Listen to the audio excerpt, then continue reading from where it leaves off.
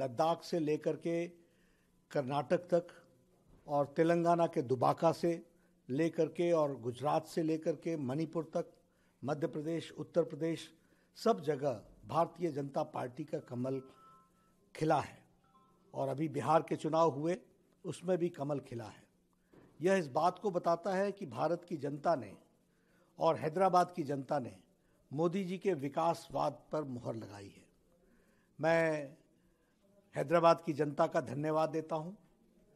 मैं उसके साथ साथ हैदराबाद की जनता के साथ साथ हमारे तेलंगाना और हैदराबाद के कार्यकर्ताओं को बधाई देता हूँ कि उन्होंने अथक प्रयास करके एक शानदार नतीजे, एक शानदार रिज़ल्ट भारतीय जनता पार्टी के पक्ष में लाए हैं।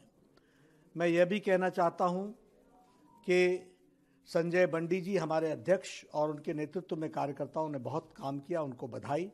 और पुनः हैदराबाद की जनता को बधाई। हैदराबाद में सारे तेलंगाना के लोग रहते हैं और इसलिए सारे तेलंगाना के लोगों ने ही एक इस चुनाव के माध्यम से आने वाले तेलंगाना चुनाव के नतीजों के बारे में स्पष्ट किया है।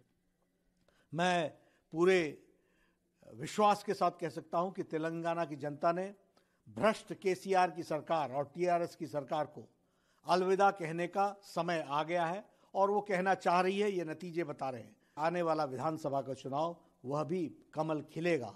और मोदी जी के विकासवाद को मुहर लगाने के लिए तेलंगाना की जनता भी आतुर है।